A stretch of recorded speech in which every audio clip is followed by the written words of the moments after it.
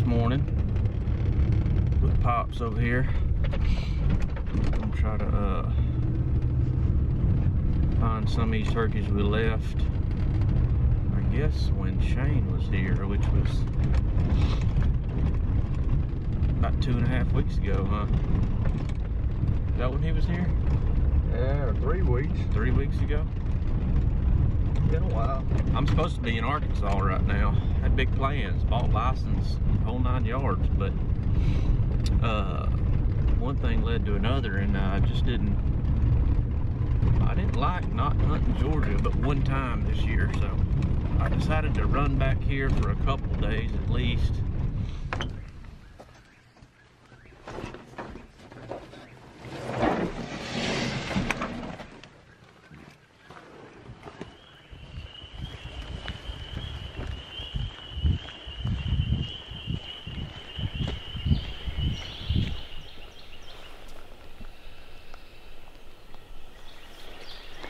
Time for him to gobble. Clouds are gonna have them start late. Yeah, they already later than usual. So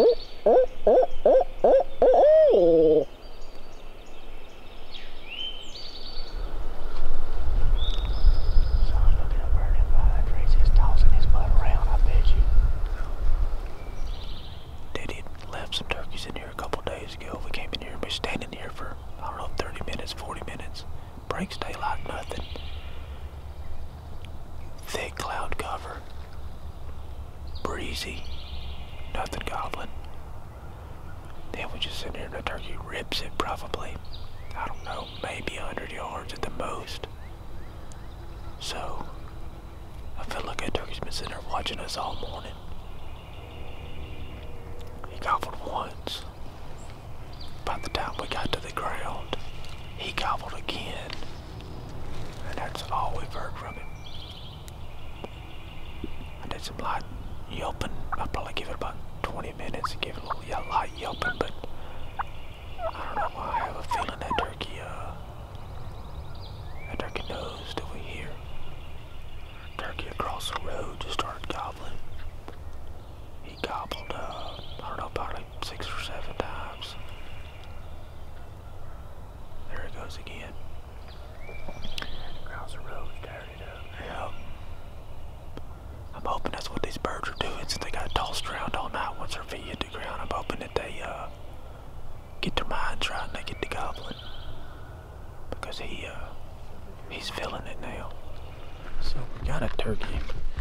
The turkey that we talked about just a second ago that's way on the other side. He, uh, on the other side of the road here. He's gobbling every breath every time I hit this tube call. So we're going to advance on him about a hundred and uh, see if he, I mean, I don't know. He's burning it up hot. We just can't go to him or not all the way to him. So we're going to uh, yelp at him as we, as we go just to keep him entertained and when a turkey's that hot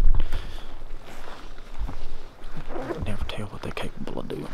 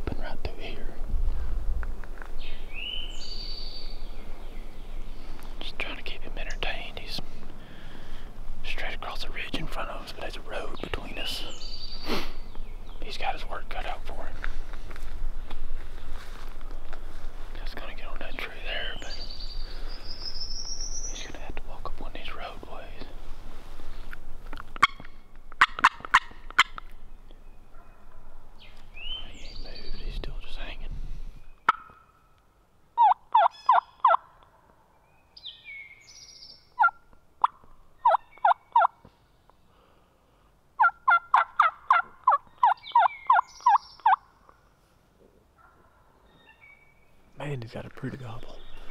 Well, that turkey gobbled his brains out for probably a better part of an hour and a half or so. But uh, then all of a sudden it's just like, I mean, he went from gobbling like crazy to not gobbling at all. So we buckled down just in case he was making a move, but we've been sitting there for probably close to an hour. He hadn't shown up, he hadn't gobbled again, so it makes you think as much as he was gobbling, something might have got after him over. Um, either way, we're gonna try to struggle around here and drum up something else, I reckon.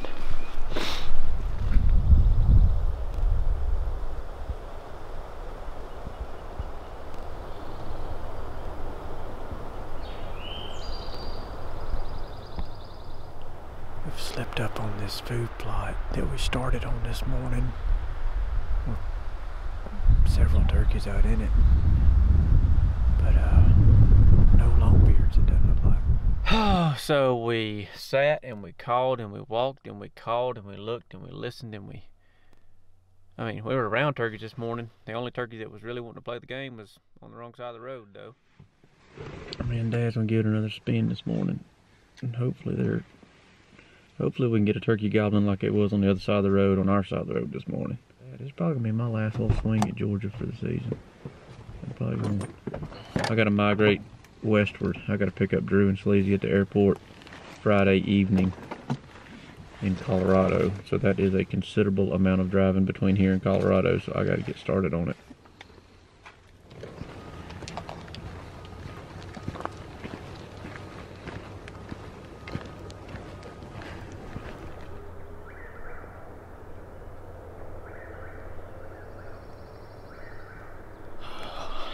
gorgeous morning.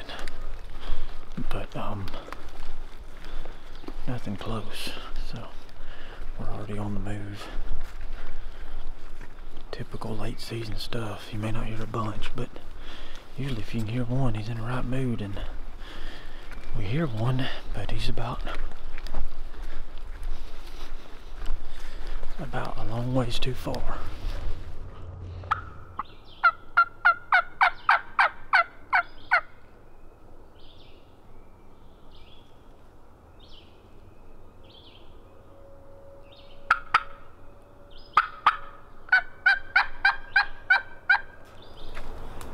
We uh, got to the back of the property and of course off the property laid our eyes on a gobbler who appears to be alone.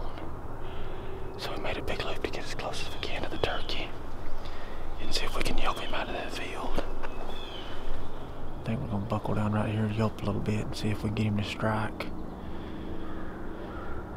And go from there.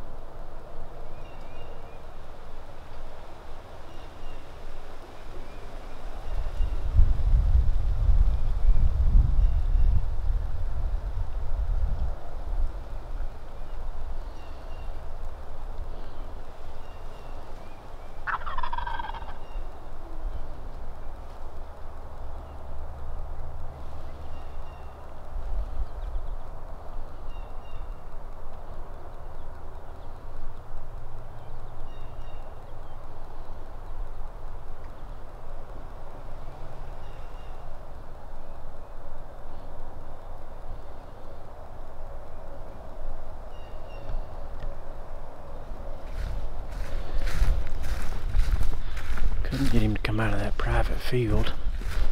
I got a little footage of him coming down the hillside there, and he sure liked to came down that hillside to let us see him and gobbled at us a handful of times, but he wouldn't he wouldn't crossing it the rest of the way and coming over into the woods with us. He uh, he did what turkeys are supposed to do. He came to the top, told her to come to him, and then when she didn't, he said heck with it, and went back over the hill, and all she wrote. So.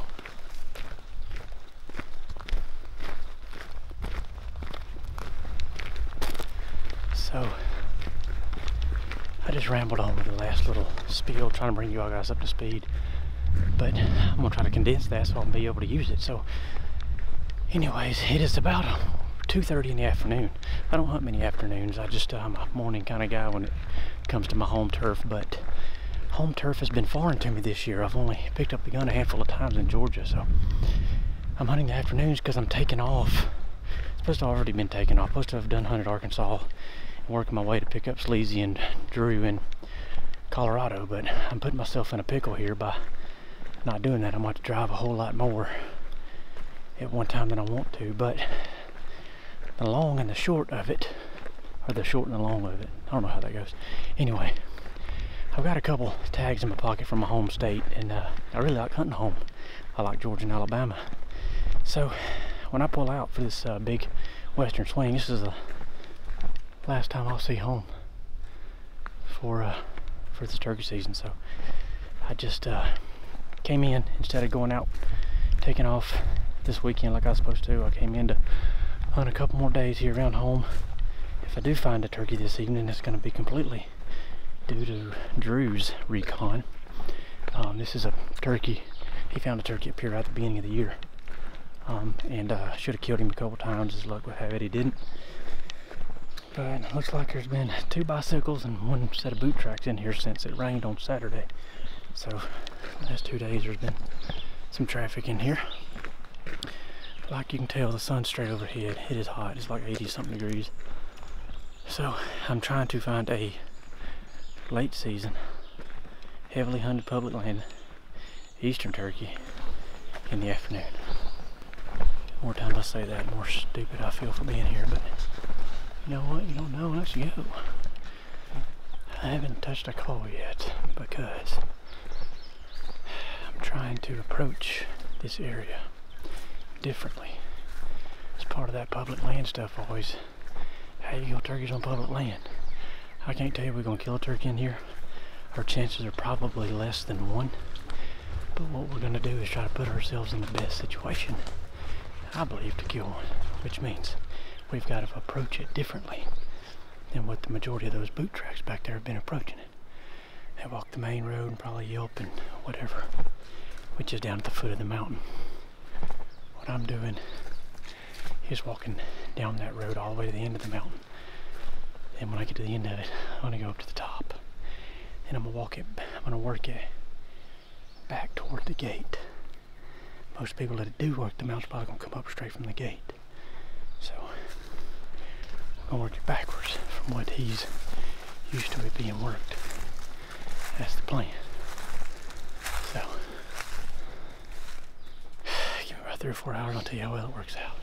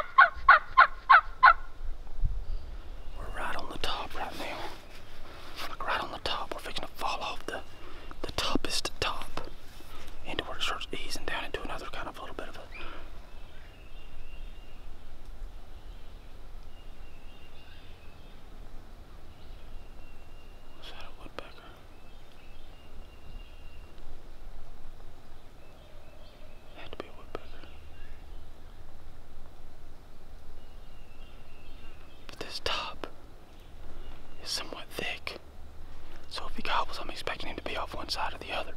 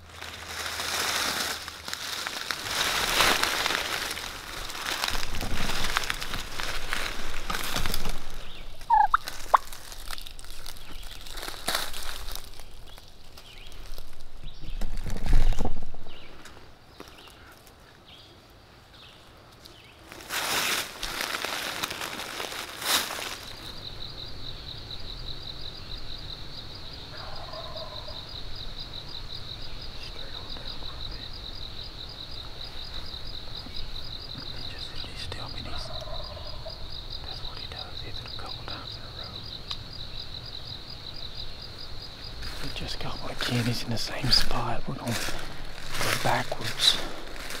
Go away from him. Get over the spur that he's only on the backside of it. Inch down. And see if we can uh, get a good pin on him if nothing else. Maybe even fly up and try to figure out exactly where he's at for in the morning. Looks like I'm gonna stay in Georgia another day.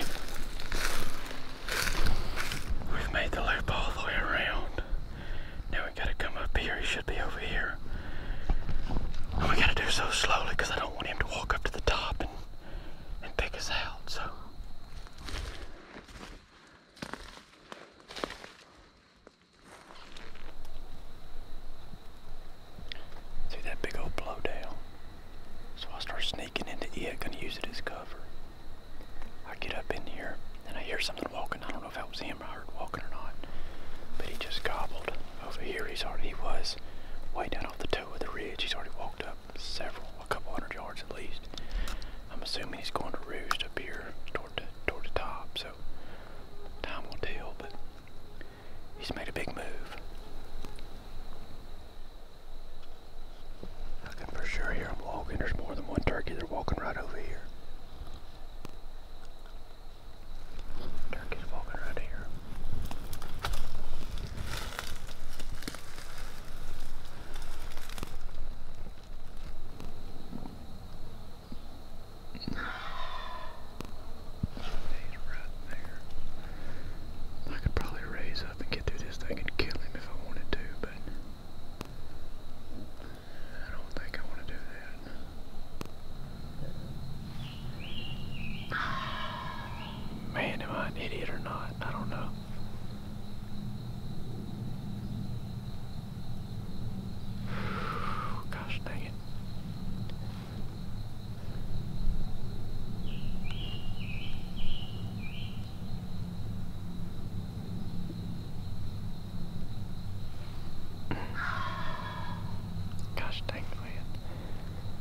Should quit that.